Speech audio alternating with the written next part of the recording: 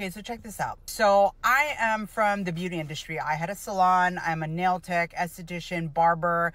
Um, I'm an instructor, and I'm a permanent cosmetic artist. Okay, so when when someone comes in and I refer someone else to like a hairdresser, right?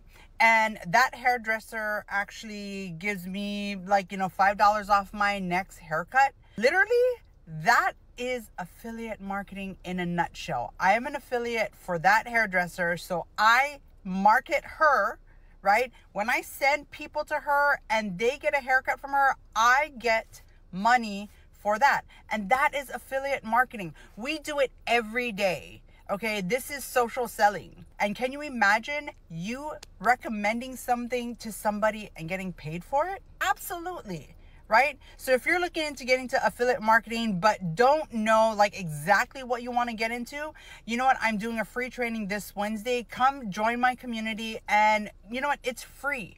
Come and check it out, right? Wait, it's free to learn. It's free information. So come on over and as usual, I'll see you on that say. Aloha.